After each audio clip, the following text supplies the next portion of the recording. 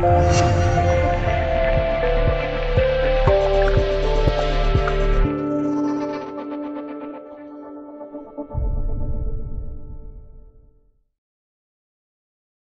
今年年初以来，在土耳其军队的大力支持下，加之叙利亚忙着一直主要在南线作战，无暇顾及北方等原因，被陷的叙利亚反政府自由军武装混得风生水起。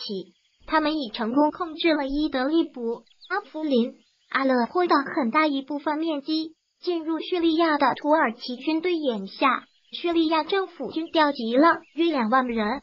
正准备在德拉伊线对叙利亚自由军所属南方阵线发起总攻，然而在这个关键时刻，土耳其军队和北线叙利亚自由军却加快了推进步伐。现已进至距俄罗斯海军基地约一百公里的拉塔基亚升贾巴尔克拉德地区，土耳其军队和北线叙利亚自由军有点趁火打劫的意思，他们乘坐着装甲车和各种卡车快速推进。但由于遭受阻击，目前正在贾巴尔阿克拉德地区构筑工事，人貌似想要长期驻守。市政府军也已抽调第十一师紧急开赴到拉塔基亚省北部，以加强当地驻军的防御力量。现在驻守在拉塔基亚省的是叙利亚的国民防卫军，他们以混命开火还击，对南下叙利亚自由军的车队进行攻击。据报道，国民防卫军被命令。主要打击叙利亚自由军，而要尽量避免攻击土耳其军队。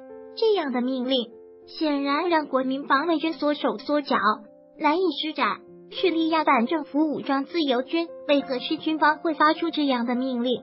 分析认为，是政府军目前兵力捉襟见肘，南方的德拉战线是现在的重点，而土耳其陆军的实力不容小觑，在整个北约里面排名前列。且装备精良，训练有素。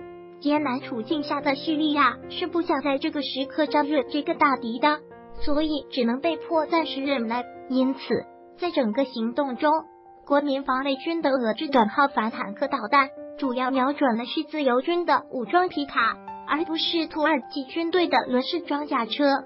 但还是成功持制了两者的推进速度。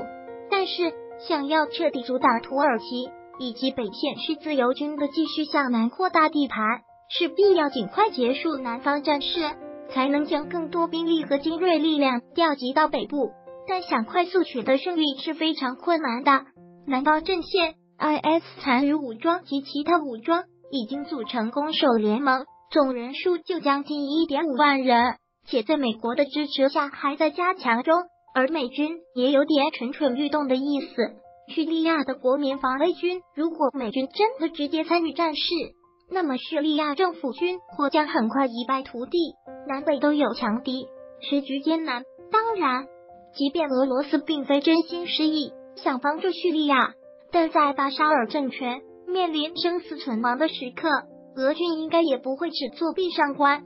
毕竟，若巴沙尔倒台，美国将必定会扶植一个亲美政权。说不定还会收回俄罗斯驻叙利亚的基地，这对俄不是好消息。俄罗斯在叙利亚的存在，多少都会让各方在行动前都有很大的顾虑。俄军不愿意直接出兵去攻击叙利亚反对派武装，毕竟两者他们都是叙利亚人。但这并不代表，如果美军真的参战的情况下，俄军还会无动于衷。